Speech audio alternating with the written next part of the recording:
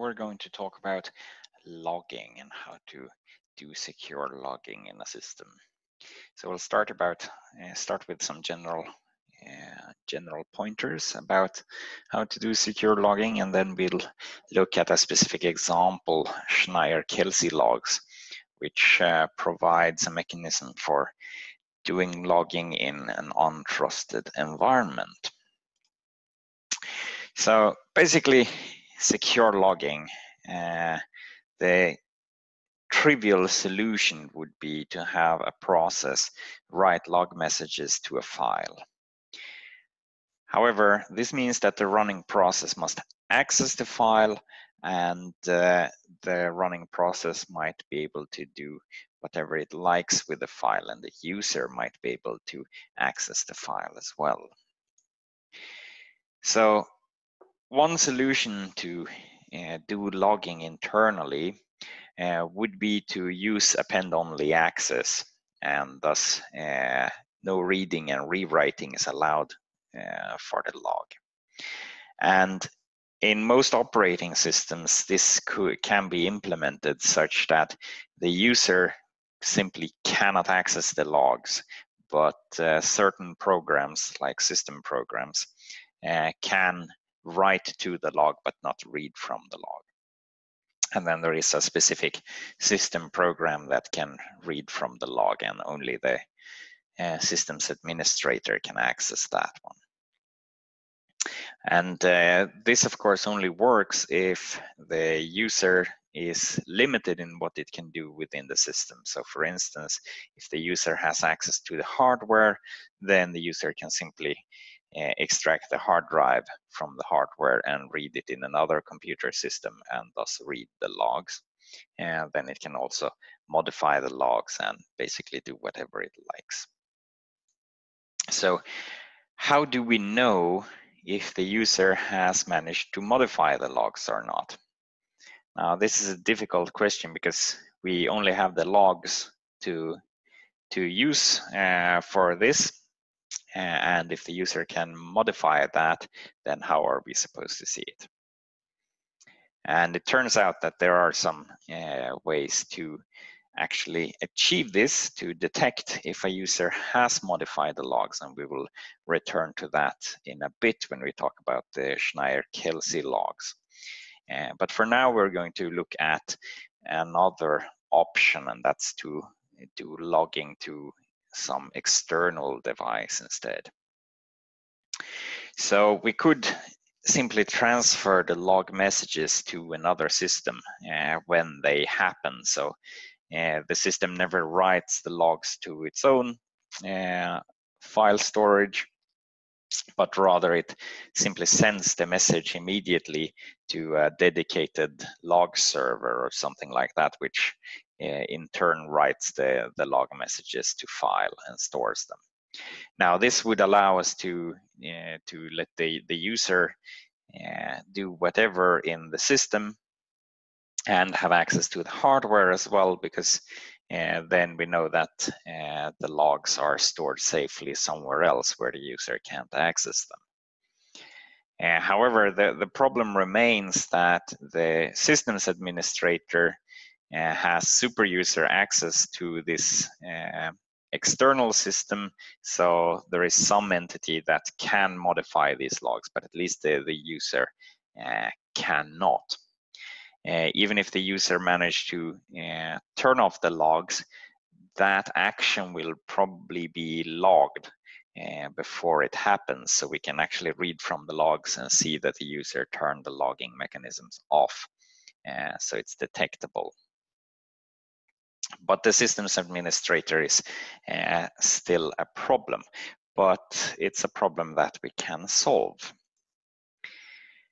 Now we can solve this by using a separation of duties. So uh, if we use a clever setup of separation of duties, this would work. So say that we have three systems administrators, A, B, and C, and then we simply do it like this, that the logs of uh, the, the system that uh, system administrator A uh, manages those are stored with systems administrators B and C. And uh, this way, A can do everything in the system, even disable the logs, but then the logs uh, will be stored with B and C, so it's detectable that A has disabled the logs. So A cannot access the, the logs and, and modify them uh, afterwards, because then uh, A must collude with both B and C, which is uh, harder than uh, simply A uh, being able to, to being malicious in, as it was in the previous case. The downside of this is, of course, that all systems must be online for this to work. So uh, the, the system that uh, A manages must uh, be able to log to B and C uh, at the same time. So the systems of B and C must also be online at all times. Now, uh, there is one way to solve this logging problem uh, for an offline system which is untrusted. So uh, running this logging mechanism on a system which the user has access to, even if the user has access to the hardware. And we will detect, we will be able to detect if the user has modified the logs in any way. Uh, and the, the user won't be able to read these logs. And the, the tools that we use for this is cryptography.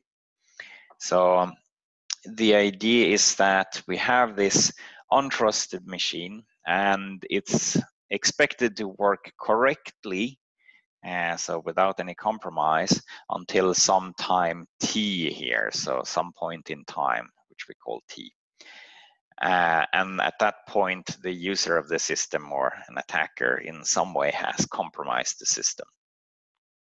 So if we number the logs, uh, so then log message number one all the way up to log message uh, t minus one, uh, they are provided with confidentiality and integrity. So this is the idea of the system. And of course, all uh, subsequent logs, so log, log message t and log message t plus one and so on, uh, they are under the influence of the attacker since he has gained control of the system. But uh, the adversary cannot uh, modify the logs to, to hide himself. He can delete the log messages, but if we enter the system, we will see that uh, messages have been deleted. So we will detect that the adversary has been there. Uh, we can't see what he has done, but uh, at least we can detect that he was there. So the way that this works is that it uses a clever setup of uh, encryption keys and one-way functions. Uh, so the core thing is the authentication key, uh, A here, which is uh, initialized uh, by a trusted party and put into the put into this system. So by uh, some trusted party needs to do this. And then this uh, authentication key is uh, renewed uh, for every log message that is written. And the way it's renewed is that it's uh, put through a hash function to generate a new key. And then the old key is deleted. And we know from the property of this one-way function that it's impossible to go from uh, the image to the pre-image. So if we have aj plus one, we cannot find a, a j easily. So that's what prevents the adversary from going back in time, thanks to this authentication key. Uh, so what do we actually do with the log messages then? How do we tie those to this encryption key? So say that we have uh, a log message, uh, this line up here already in the log. And we want to add uh, another one. So uh, this line down here. then what we do is that we take the uh, type of the entry, so we can have several uh, types, for instance, error messages, warnings, or information information messages and stuff like that. And then we have the data here, D, which is uh, encrypted under a key KJ here. And uh, then we have two uh, values for uh, message for authentication purposes to see to detect any modification. Now let's see, what do we do here? So we take this uh, message type here and we use that to compute the encryption key. So we take the message type and the authentication key that we currently have in memory and we run those two through a hash function and we will get an encryption key kj here. Uh, and remember that it's impossible to go from K only having KJ here to find either of these two or both. Uh, so this encryption key is what is used for the uh, encryption algorithm here. So we take the message data and encrypt it and uh, store it. So now we have worked out the, the first two cells here. So now to the authentication. Now what we do is that we take the ciphertext here and we tie the ciphertext to the previous line. So that's how we can detect uh, if the adversary has inserted lines or deleted lines because then uh, this will not uh, work correctly. So uh, what we do is we take the previous y here, we put that in as input to a hash function, and then we put the uh, message, uh, the ciphertext, and the, the type of uh, log message. And we all run those uh, through a hash function and we get a value uh, y here, yj. So this is the new uh, value here. So you see that the value here depends directly on the previous value and the data uh, of this very line. So this ties these lines together so that you can't insert anything in between because then these computations are very unlikely to match. It's uh, close to impossible to find a match if you try. Yeah. So, but uh, this is uh, so far it's only a hash function so so anyone can simply redo this computation with other values and that would work. So that's why we have the last value here which is a message authentication code for y. So this means that we we simply take y put it through a message authentication uh, algorithm to generate a message authentication code. And here we use the authentication key AJ as a key. And what we want to provide authentication for is the Y here, with the, the value which ties these lines together. And uh, once we've done that, so we've computed ZJ here, we delete, uh, we, we put aj through the hash function to get aj plus one, and then we delete aj, which means that this line can no longer be modified uh, because aj is gone, so we cannot uh, use compute the encryption key, and we cannot compute uh, the message authentication code here either. Uh, so now this uh, this line is is secure because the adversary cannot find the key, so he cannot uh, modify uh, this line.